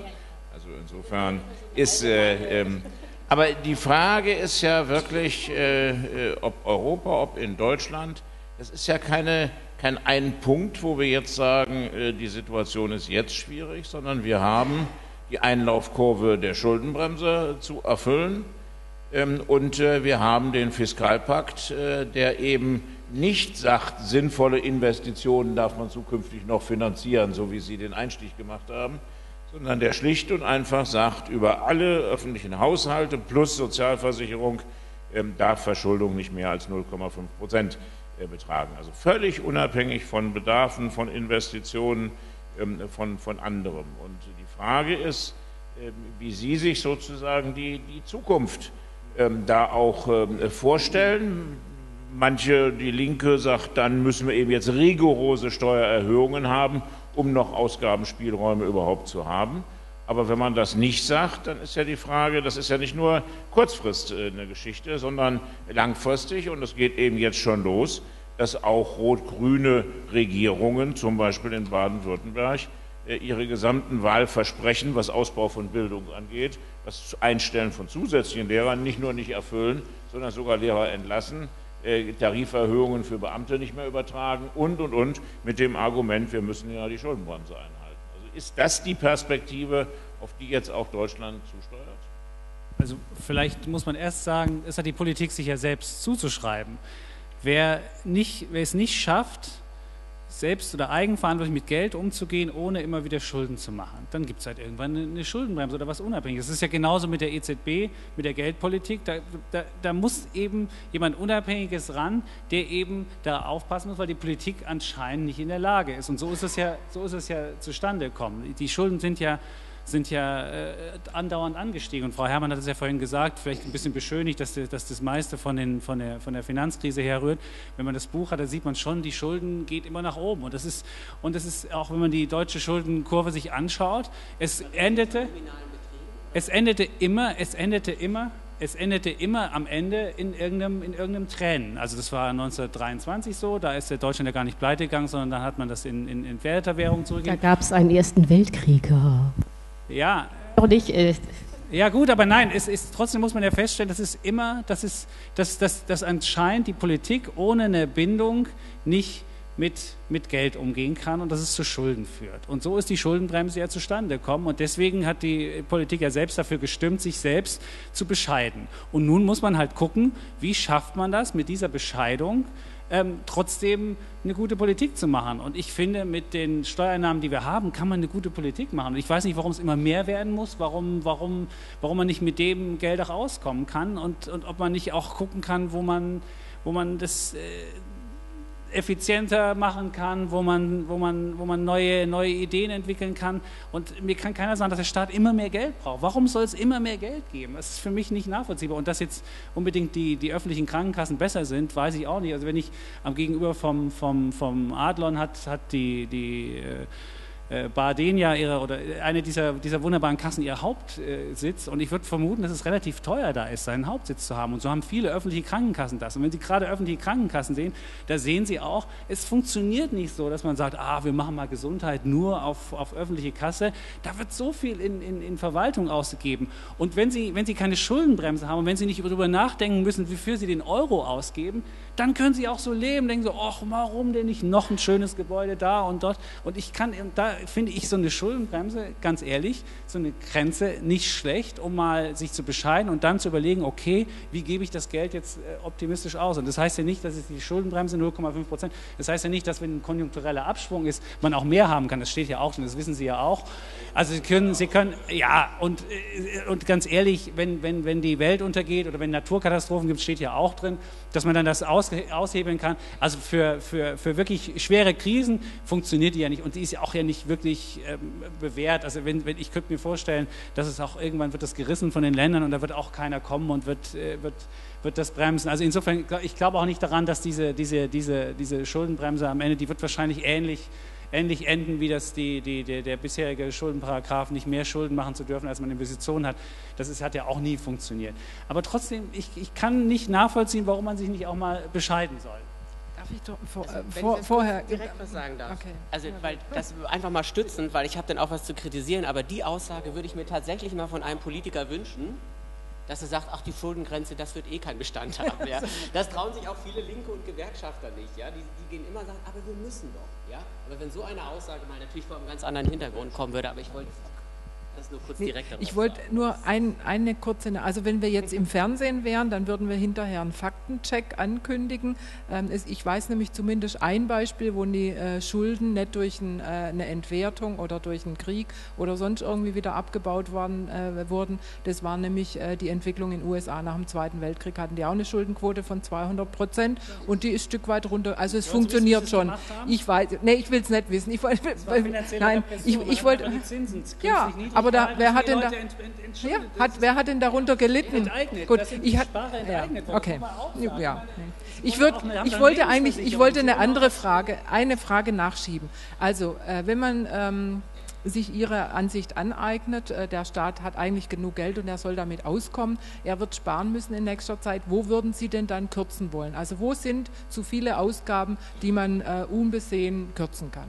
Wir müssen doch gar nicht kürzen. Also wir haben doch jetzt, wir haben doch jetzt, es geht doch sogar, wir haben sogar 0,5 Prozent dürfen das sogar Schulden machen. Das heißt, wir können pro Jahr ab 2016 können wir 10 Milliarden pro Jahr mehr ausgeben. Ich weiß überhaupt nicht, wo da was gekürzt werden muss. Das heißt, ich habe 10 Milliarden mehr und da muss ich die 10 Milliarden eben klüger, klug ausgeben. Also ich, ich weiß nicht, das heißt ja nicht, dass wir, dass wir, der, der, der Fiskalpakt sagt doch nicht, wir müssen die, oder die, die, die Schuldenbremse, der Fiskalpakt schon, aber die Schuldenbremse sagt doch nicht, ich muss jetzt meine Schulden reduzieren. Das geht doch gar nicht darum. Es geht nur darum, die Neuverschuldung irgendwie mal zu, zu stoppen. Und das muss man sich doch klar machen. Es geht wirklich nicht darum, dass wir jetzt von jetzt auf gleich unsere Schuldenquote von 80 auf 0 senken, sondern es geht einfach darum, die neuen Schulden, dass wir das eindämmen. Das ist genau der Ziel. Und es geht wirklich, ich weiß nicht, wo ich da, warum man da sparen soll. Herr Hill, sind die neuen Schulden nicht ein Bestandteil der Staatsausgaben bisher? Und wenn man die nicht mehr machen darf, dann muss gekürzt werden? Ja, also ich, mir fällt jetzt ein Artikel ein, den habe ich 2010 in der Welt gelesen und den fand ich äh, wirklich äh, sehr informativ, auch eben gerade für diesen Diskussionsstand. Es war nämlich so eine dicke Überschrift und mit einer tollen Grafik versehen. Ähm, das war auf jeden Fall eine dreistellige Milliardenzahl Investitionsrückstand in den Kommunen. Ja, Und wenn man jetzt dagegen diese Kleckerbeträge, also jetzt 10 Milliarden, irgendwie dürfen wir sogar mehr aufnehmen, ja. Wenn ich nur alleine sehe, wir geben seit Jahren, und zwar seit der rot-grünen Koalition, über den ganzen Zeitraum, ich habe es mir gerade nochmal angeguckt, ja, 25 Milliarden weniger als, also jetzt für Bildung aus, als nur als der OECD-Durchschnitt. Da sind Länder wie Mexiko, Südkorea und so weiter drin, ja. Ähm, also nicht nur ganz reiche Industriestaaten, ja. Ähm, und dann haben Sie jetzt gerade eine, eine wunderbare Frage gestellt oder ein, eine These gestellt. Ich weiß gar nicht, warum wir immer mehr ausgeben müssen. Ja, das ist ja an sich auch eine richtige Frage, die man sich stellen muss. Warum müssen wir nicht immer mehr ausgeben? Und da ist es so, vielleicht kann uns die Antwort ein Malermeister geben. Ich bin nämlich äh, 2011 durch elf Bundesländer gewandert und dann einmal habe ich auch geschummelt und bin getrennt. Und prompt ich, saß ich bei einem Malermeister im Auto. Das war irgendwo in NRW. Und äh, ja, dann kamen wir irgendwie so ins Gespräch. Ich habe ihn einfach erzählen lassen. Der hat mich dann noch, also noch dahin gefahren, wo ich wollte, obwohl er einen ganz anderen Weg hatte. Und der sagte dann irgendwann, ja, es ist halt, der sagte dann ja, halt, ja, wo kriegen Sie denn Ihre Aufträge? So kam er zur Sprache, ja, das ist jetzt ja alles nicht mehr so. Früher haben ja die Schulen Aufträge gegeben und so weiter, also dass, dass wir die, die Klassenräume malen sollen und so weiter. Und zwei Jahre davor ähm, hatte ich dann ein ähnliches Erlebnis. Äh, da habe ich den Alltagsminister erfunden, einfach so, weil der, wir haben Außenminister und so weiter, aber keiner kümmert sich mehr um den Alltag der Menschen, habe ich mir so gedacht. Habe ich natürlich rein fiktiv und dann habe ich mich immer so in Cafés gesetzt und dann saß ich auch mit einem Menschen in Hamburg allerdings war das dann äh, an einem Tisch und der sagte dann plötzlich haben wir uns angeregt unterhalten auch über Politik und dann sagte oh jetzt muss ich aber los das Klassenzimmer streichen no? und da ist es natürlich ein Problem auch wiederum nochmal zurück zu den Kategorien von Einnahmen und Ausgaben wenn der Malermeister keine Aufträge kriegt ja äh, dann äh, kann er eben auch keine Arbeitsplätze schaffen und so weiter. Und das sind eben, wenn die Kommunen aus dem letzten Loch pfeifen, laufen diese ganzen ökonomischen Zusammenhänge nicht mehr. Ja? Äh, und so kann ich natürlich auch keine, letztendlich auch keine Schulden abbauen. Es wird ja immer schlimmer. Ja, das scheinen, scheinen die Kommunen ja festzustellen. Also da greift vieles ineinander. Ich hoffe, ich konnte das jetzt so ein bisschen äh, äh, plastisch machen, einfach konkret, der Malermeister kriegt keine Aufträge, die Eltern gehen das Klassenklimmer streichen und verkaufen das noch. Das ist ja auch alles so irre, was sich in, in vielleicht 15 Jahren entwickelt hat. Der verkaufte das so als Gemeinschaftsaufgabe. Ich habe gesagt, ja, das finde ich toll, so ein Lehrer-Schüler-Elternprojekt, aber dann kann man doch auch in die Oper gehen. Ja, aber stattdessen streichen die das Klassenklimmer und der Malermeister kriegt keine Aufträge, zahlt keine Steuern. Ja, das sind Steuern, die dem, der Kommune wieder fehlen. Äh, es passt einfach nicht zusammen. Ja? Und nochmal ganz kurz abschließend gesagt, was einfach stehen bleibt als schockierende Zahl, sind diese dreistelligen Milliardenbeträge, äh, die wir an Investitionsrückständen haben. Ja? Also die Infrastruktur, Straßen, aber eben auch Schulen, also reine materielle Ausstattung, der, die die unmittelbaren Lebensverhältnisse der Menschen berühren. Ne? Und da weiß ich, da weiß, weiß ich dann auch keine Lösung mehr, äh, wenn man sagt, äh, wir haben jetzt die Schuldenbremse. Vor dem ganzen Hintergrund, der seit Jahren bekannt ist, fragt man sich, warum die Schuldenbremse überhaupt eingeführt wurde. Weswegen dann ja am Ende ihren Satz, der sicherlich kommen wird, das glaube ich auch. Also da bin ich hundertprozentig mit Ihnen einverstanden. Ich wundere mich, warum außer Ihnen und dass ich den selber sozusagen gedacht habe, spricht den keiner aus. Ne? Ja, wobei ich, wo, wobei ich aber, ich teile den Optimismus da nicht und Herr Chapitz, Sie sind natürlich ein schlechter Politikvertreter, und zwar nicht nur des konservativen Teils, sondern äh, auch gleichzeitig noch des sozialdemokratisch und grünen Teils, weil alle diejenigen haben sozusagen Schuldenbremse für im Prinzip richtig gefunden, haben dem Fiskalpakt im Prinzip äh, äh zugestimmt, bestenfalls noch mit der Frage, gibt es kurzfristig noch eine Wachstumskomponente und äh, haben bewusst äh, das Grundgesetz so geändert, auch gegen den Willen von Herrn Lammert, dass es so ausführlich da drin steht, was sozusagen erlaubt ist und was nicht erlaubt ist, äh, dass im Prinzip das wirklich heißt, dass dann eine Opposition vor das Bundesverfassungsgericht geht und sagt, hier wird gegen verstoßen. Und das Bundesverfassungsgericht muss dann sagen, Grundgesetz ist scheißegal, könnt ihr ruhig machen. Also das glaube ich, kann ich mir zumindest nicht vorstellen. Jetzt, nein, aber jetzt könnte man. Ja, das, aber Sie sagen ja gerade zu Recht, dass.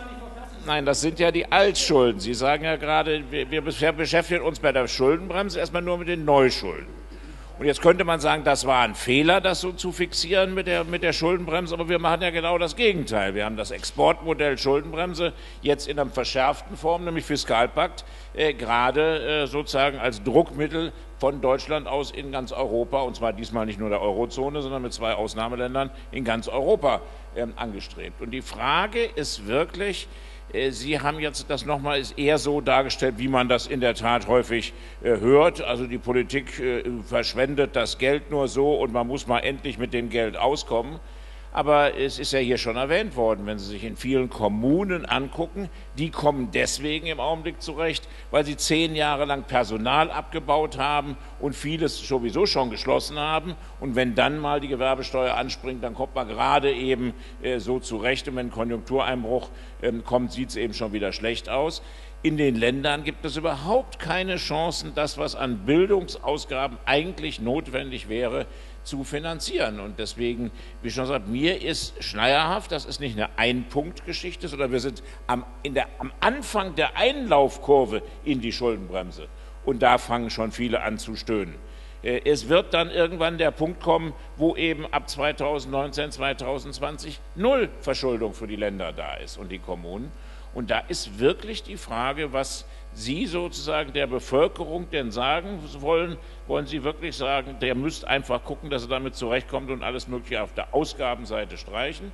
Oder muss man dann wirklich die Frage steuerliche Mehreinnahmen, um eben Investitionen, um mehr Personal da, wo es gebraucht wird, im öffentlichen Dienst auch zu finanzieren? Also das ist doch die, die Frage, auf die ähm, die Auseinandersetzung jetzt in allen möglichen äh, Situationen, auch eben gerade hier in Berlin hinausläuft. Und dann sind wir noch nicht bei den hochverschuldeten Ländern, da kommen wir dann gleich noch zu. Wenn, wenn, Sie so Beispiele genannt haben, wenn Sie in der Republik rumkommen, ich komme auch zuweilen in der Republik rum, ich war in Bremen neulich mal. Ich war in Bremen, nee, zu Fuß nicht, ich war in Bremen und dann äh, gab es in Bremen einen Menschen, der hat mich begrüßt an der Straßenbahn und hat gesagt, guten Tag, ich zeige mal, wie der Automat funktioniert und dann müssen Sie jetzt das Ticket lösen und das machen Sie jetzt mal so. Und dann sage ich, wenn ich das Ticket jetzt nicht löse, dürften Sie jetzt auch mich irgendwie mir die, die Strafe abnehmen? Nee, nee, das macht der andere Kollege, das mache ich jetzt nicht. Und ähm, da denke ich mir, in Bremen ist irgendwie das Land ist hoch verschuldet und sie leisten sich nach jemandem, der mich am, am, am Automaten grüßt. Es ist faszinierend. Und, oder hier in Berlin bin ich gejoggt, jeden Morgen durch den Humboldthain. Da gibt es jetzt Menschen vom Gartenbauamt, die klopfen den Schnee von den Bäumen und schippen Schnee von der Wiese weg. Und ich frage so, ey, was macht ihr da? Naja, müssen ja irgendwas machen. Ähm, äh, fasziniert, ja, ja, fasziniert, aber, aber, das, aber ich würde vermuten, ich würde vermuten, dass man, dass man, dass man, wenn man da ein bisschen drüber nachdenken würde und denen vielleicht ein, was anderes gäbe, dass sie nicht den, den, Schnee von den Bäumen abklopfen müssten. Das sind doch so Sachen. Aber wenn ich jetzt, wenn ich jetzt ja, das ist, ein, das ist ein keynesianisches Problem. Keynes hat ja auch ein keynesianisches Programm. Der hat ja gesagt, man sollte, man sollte, man soll, doch, doch, Keynes, doch, Keynes, Keynes hat ja gesagt, das Beste wäre, man sollte einfach Löcher graben und sie wieder zuschütten. Das ist, das, das ist ein ähnliches Prinzip. Er hat gesagt, wenn, man, wenn, wenn nichts Vernünftigeres möglich ja. ist, dann soll man wenigstens das machen. Sehen Sie. Und, und, das scheint ja bei uns in Berlin, nur ich frage mich, wenn in Berlin der, der Druck so groß ist, warum dann die Leute das machen. Also ähm, insofern die, die, die Bäume klopfen. Herr Schepitz, Sie waren doch immer für den 1-Euro-Job, oder? Sie waren doch immer für den 1-Euro-Job. Jetzt sehen Sie den 1-Euro-Job. Und wissen Sie, warum, die, die, äh, warum Sie den Schnee von den Bäumen fegen müssen und nichts anderes machen dürfen? Weil ja 1-Euro-Jobs keine Konkurrenz zur normalen Wirtschaft darstellen dürfen. Das heißt, das ist das, die programmierte Sinnlosigkeit. Aber das ist genau das, was die Agenda 2010 hervorgebracht hat, die Sie doch eigentlich immer unterstützt haben. Es ist ein bisschen erstaunlich, dass Sie dann deren Wirkung so erschütternd finden. Aber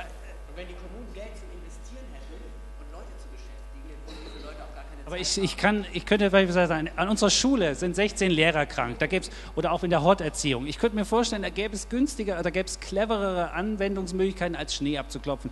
Und, äh, und jetzt werden Sie natürlich sagen, die sind nicht ausgebildet für eine Erziehungsleistung, aber in der Schule würde ich, sind so viele. Nein, dann frage ich mich, wenn Sie, ja. Sie, offenbar in Ihrem Hort schon feststellen, dass die Erzieher fehlen, ja. warum Sie dann nicht dafür sind, dass die Steuern erhöht werden und Erzieher eingestellt werden. Denn ich bin ganz sicher, wenn es konkret wird, werden Sie nicht wollen, dass äh, ein äh, unausgebildeter ein Eurojobber ihr wertvolles Kind betreut, sondern sie wollen ganz bestimmt, dass es eine gute Erzieherin ist. Aber dann ist doch die Frage, wenn da also offenbar so ein Mangel herrscht, der ja nachgewiesenerweise überall herrscht, warum Sie dann nicht der Meinung sind, dass der Staat da mehr Geld ausgeben sollte. Sie wären doch der erste Profiteur. Ähm, nein, äh, es geht, ich habe ja auch nichts gegen kluge Investitionen.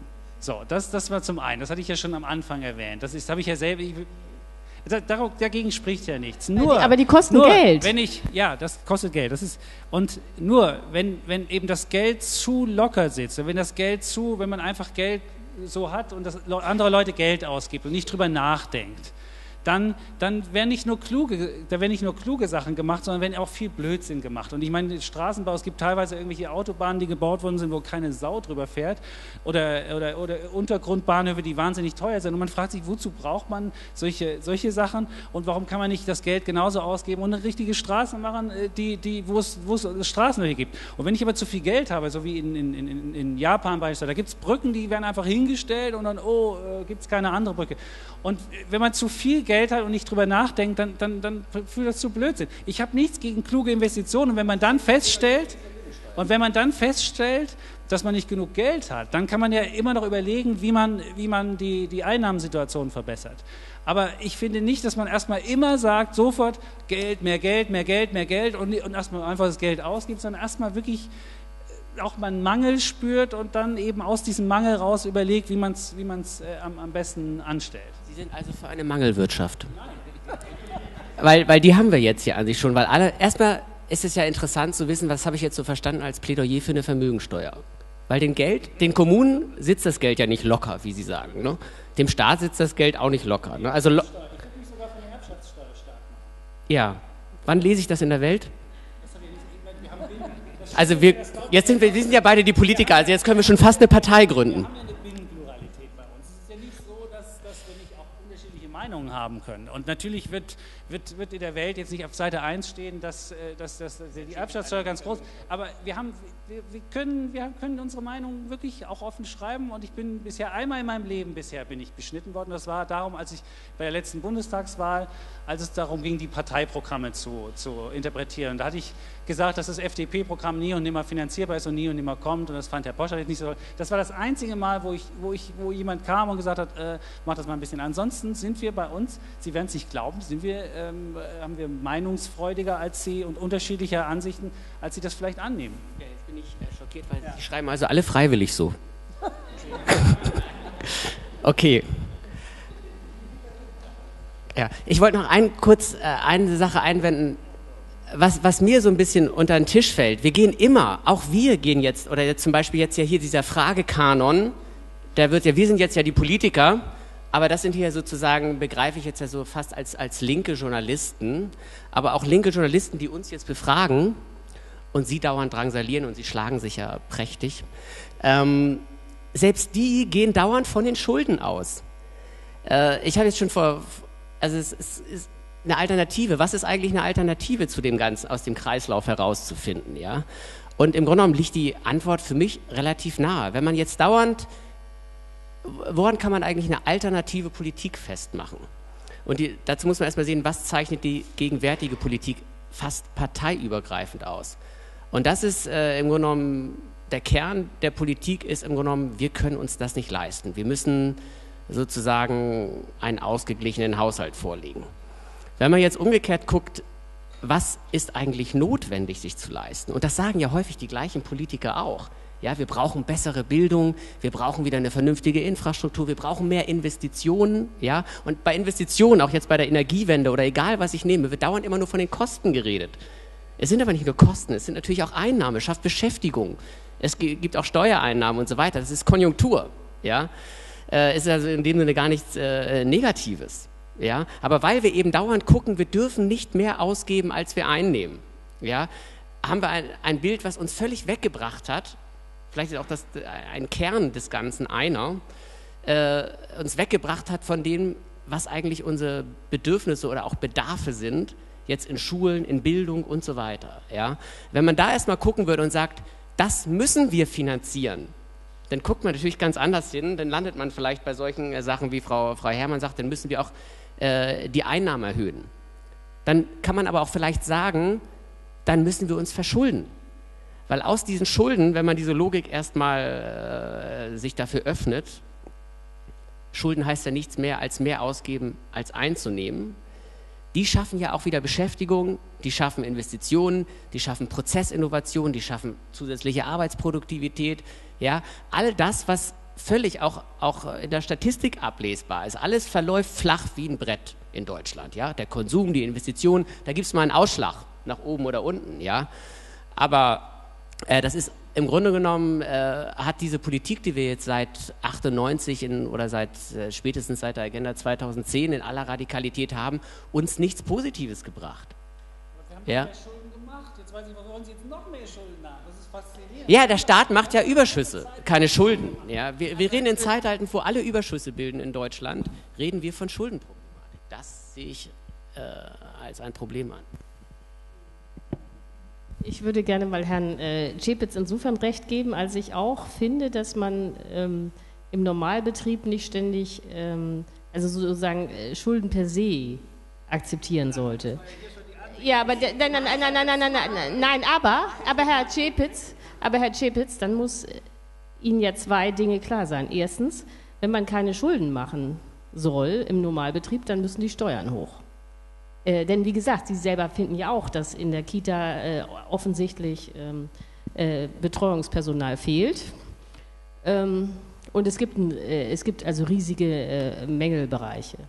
Was ich kommen sehe, ist, ähm, dass die Steuern äh, sich umwandeln werden in Abgaben. Also ähm, äh, oder Abgaben anderer Art. Jedenfalls in der Form, dass äh, Steuern zweckgebunden erhoben werden. Also ich, äh, was ich wirklich kommen sehe, ist so eine Art Vermögensabgabe nach dem Motto äh, oder Vermögenssteuer. Äh, damit finanzieren wir Teile der Bildung.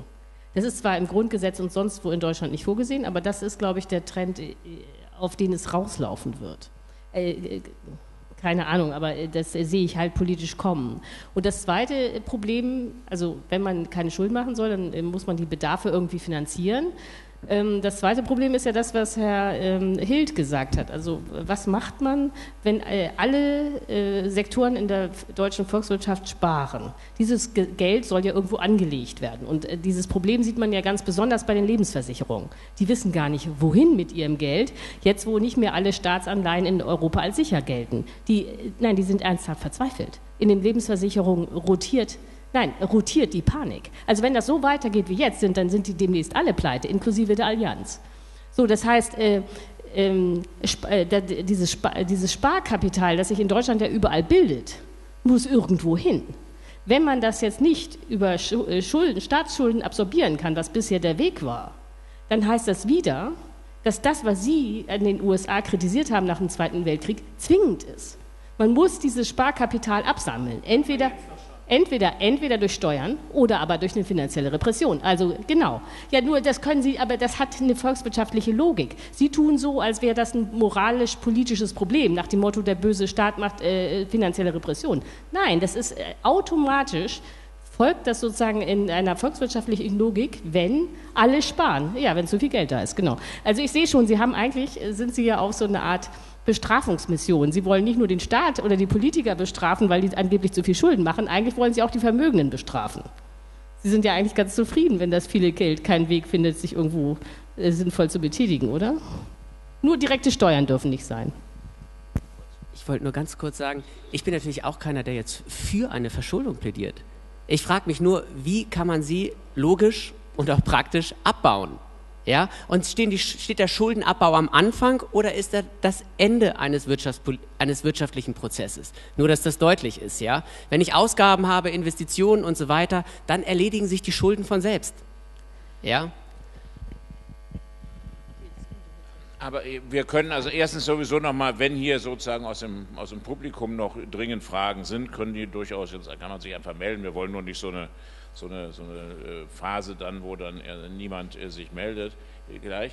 Aber ich will noch mal einen Punkt, weil mir das, ich, ich habe immer das Gefühl, alles weicht jetzt aus. Naja, wenn es dann eng wird, dann dürfen wir doch uns verschulden. Also ich halte Schuldenbremse und Fiskalpakt für so hart, dass ich nicht glaube, dass das akzeptiert wird. Und wir haben jetzt die Auseinandersetzung innerhalb der Bundesländer, also mit den ersten Klagen gegen den Länderfinanzausgleich, wo sozusagen, was ursprünglich, ich war in der Föderalismuskommission selbst mit drin, das Versprechen war, der an die ärmeren Länder, es wird eben nicht so eine Klage ähm, äh, geführt, die jetzt äh, gemacht wird. Also wir werden in richtig große Probleme kommen. Und es gibt, es gibt ja keine steigende Ausgabenquote. Wir haben keinen steigenden Staatsanteil, so wie sich das bei Ihnen anhört, sondern wir haben sozusagen rückläufige Ausgaben bei zum Teil steigenden Bedarfen. Und das ist schon ein, für mich zumindest ein Problem. Und ich habe aber das Gefühl, dass das auch in der Politik von allen Parteien, jetzt in dem Fall außer der Linken, wirklich nicht thematisiert wird. Also mein Lieblings- oder meist gehasster äh, Haushaltspolitiker ist der Volker Schneider von der SPD, der sich da immer hinstellt, äh, Carsten Schneider, Carsten Schneider äh, der sich sozusagen immer hinstellt, sagt, Bundesregierung, du sparst nicht genug. Und genau derjenige, wenn er dann selber in die Regierung kommt, steht vor genau den gleichen Problemen, wird genauso die Haushalte nicht dicht kriegen und dann kommt die CDU oder die FDP und sagt, da gucke mal da, ihr kriegt den Haushalt nicht dicht und spart nicht genug. Und trotzdem wissen alle, dass es Riesenbedarfe gibt. Es wissen alle, dass wir zunehmend nur noch mit PPP überhaupt Investitionen getätigt kriegen. Die Bundesautobahnen werden Zug um Zug sozusagen privatisiert. Das ist doch alles eine Entwicklung, die nicht wirklich akzeptabel ist, wenn man noch ein Sozialstaatsprinzip ähm, im, im, Auge hat. Und äh, wenn das aber mit der Schulden nicht mehr geht, dann muss die Frage äh, steuern, und zwar nicht ein bisschen steuern, sondern in vollem Umfang als Ausgleich für die nicht mehr vorhandenen Defizitmöglichkeiten. Und dann bin ich erst bei plus minus null. Dann habe ich immer noch keinen zusätzlichen Spielraum für Bildung oder für neue Investitionen, sondern dann habe ich nur den alten Zustand wieder. Also insofern glaube ich, dass man auch der, im Journalismus kritischer wirklich äh, damit umgehen müsste, wie sozusagen in den nächsten Jahren äh, Haushaltspolitik auf der Länder-, auf der Gemeindeebene, aber auch beim Bund wirklich aussieht.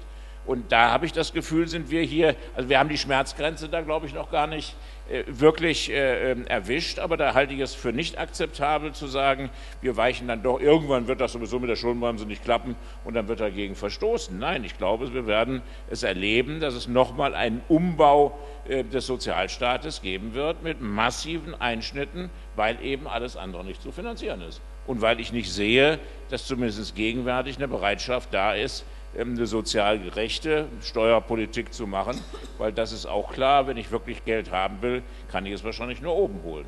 Oder sehen Sie das nicht so?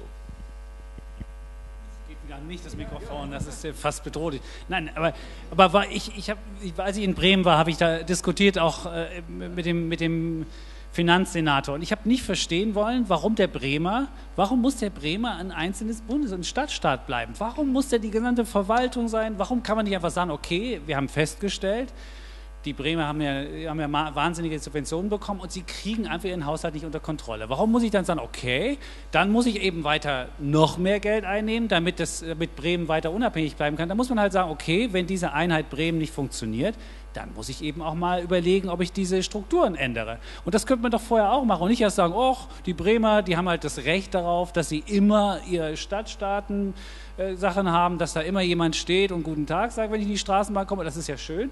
Aber ähm, vielleicht kann man nicht auch da mal, man muss vielleicht erstmal, bevor man, bevor man den einfachen Weg geht, erstmal überlegen, wo kann man gegebenenfalls erst noch was, noch was rausholen. Und da denke ich, da ist noch was. Nee, aber, aber, aber, dann sind Sie, ach, jetzt habe ich das Mikro, ich höre natürlich zu hören. Ähm, dann sind Sie also auch ein vehementer Befürworter der Umlagefinanzierung und gegen private Altersvorsorge zum Beispiel.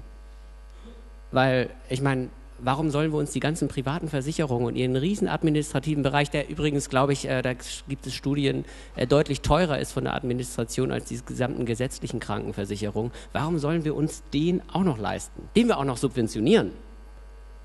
Keine Sorge, ich mache keinen Versuch, das zusammenzubinden jetzt inhaltlich. Ähm, ich würde nur, wenn wir jetzt noch Stunden Zeit hätten, dann würde ich versuchen, in die Richtung weiter äh, zu diskutieren, wofür soll denn eigentlich der Staat das Geld ausgeben? Vielleicht kommen wir über so eine Diskussion dann dahin, äh, wie viel brauchen wir denn auch, weil da sehe ich dann vielleicht auch eine Chance, dass wir äh, also nicht nur uns Wahrheiten um die Ohren hauen, sondern vielleicht dann auch mal Nägel bei den Köpfen machen, neben ne Butter bei den Fische oder wie sie, genau.